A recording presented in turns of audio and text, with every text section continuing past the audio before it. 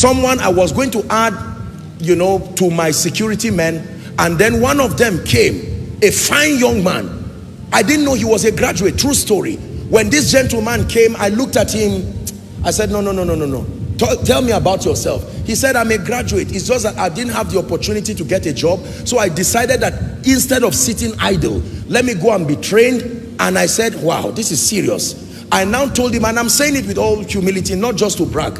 I told him, I said, my friend, because you did this as a graduate, instead of going to steal, I'm going to send you to go and do your master's and I will give you money to start business. You will not be a security in my house. Now, listen, that gentleman today has gone. But because he was humble enough, the arrogance of this generation in the midst of nothing, you get a job of 50,000, you say 50,000 in Abuja, God forbid. If it's not 500,000 and God says you are not ready to rise, you are not ready to rise. Oh, my birthday, I need 500,000 as a budget. No. Economic empowerment. When you wear tomorrow's clothes today, you will be naked tomorrow. When you eat tomorrow's food today, can I tell you the truth? Please listen. For those of us that God has started placing something in our hand, run away. One of the things i learned with all due respect in this city is that god needs to deliver this city from a fake life. Everybody wants to show we have arrived.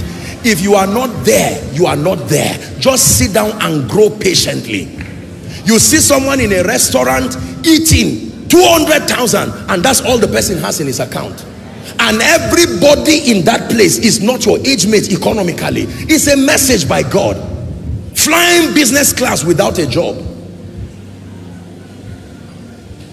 Getting into a choice hotel and celebrating birthdays. Gathering friends together burning one two million. No. The church is the right place to say this. And i'm saying this from a standpoint of love. Can i tell you? Delete wasters from your life people who are not there when you have money as soon as money arrives it's as if there's a spirit that makes them know here they come tell them i love you but i listen to apostle and i'm on a journey with determination are we together now? Yes. I was going to assist a gentleman one time to marry and then he, the, among the budget, he brought a budget for honeymoon. I said, you are joking. You're joking. You are, you are joking. You think just because a man of God is a giver, we are foolish? No.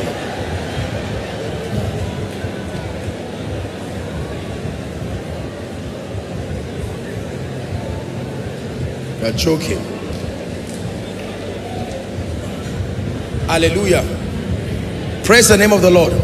I hope you get what I'm trying to say.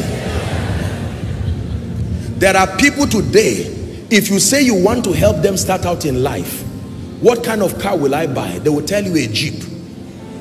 First car.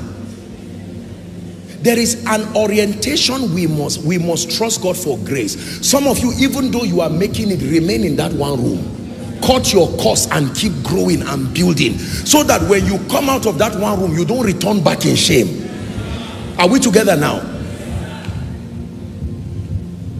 don't say all my colleagues have gone no problem you start with the dignity of integrity. What can you do with your hand? I will be more than glad to pray and bless you. And perhaps even sow into your life provided you are serious. Let's let's let's not train lazy and irresponsible people in church and then we keep gathering everything and say in jesus name. No. I challenge every young man here. Listen gentlemen for the ladies god bless you. Work hard. But for the men in the name of jesus christ i release grace upon you to be productive. No gentleman in this ministry should have a dependency mentality. No. And if you are here and it's your wife that is feeding you well it depends on the situation. But if it's more than three months four months you are not serious. You are not serious. Did you hear what i said? I'm not being stupid. You are not serious there is a grace called favor. Wake up in the name of jesus christ and take responsibility. Don't fold your hand and allow your wife pay children's school fees bring food for you do a pay rent for you buy clothes for you. Who paid whose dowry